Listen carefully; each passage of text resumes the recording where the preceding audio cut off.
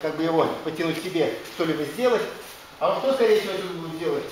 Ну, Скорее всего. Будет уходить, правильно? Он на меня сейчас вряд ли пойдет, потому что если он на меня идет вот здесь, да, то про- просто я сделаю день равновесия с подсечкой вот отсюда. Аккуратненько перед подсечкой делаю. Вот это ногой падение. То есть если он меня тащит, то я просто падаю перед ним и что буду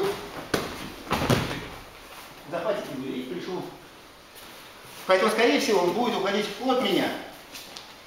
А так как он уходит от меня, то мы здесь продолжаем его левой ногой подсечкой боковой. То есть я его гоню, гоню, гоню, гоню, гоню, гоню, гоню и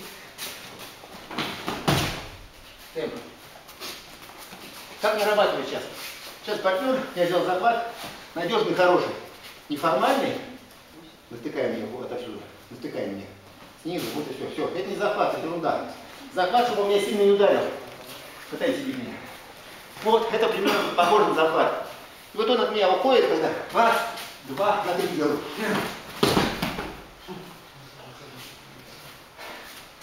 Дистанцию держу, захват за пояс, без партнера. Взял, пытаюсь его сломать. Он таз уходит. И он уходит от меня.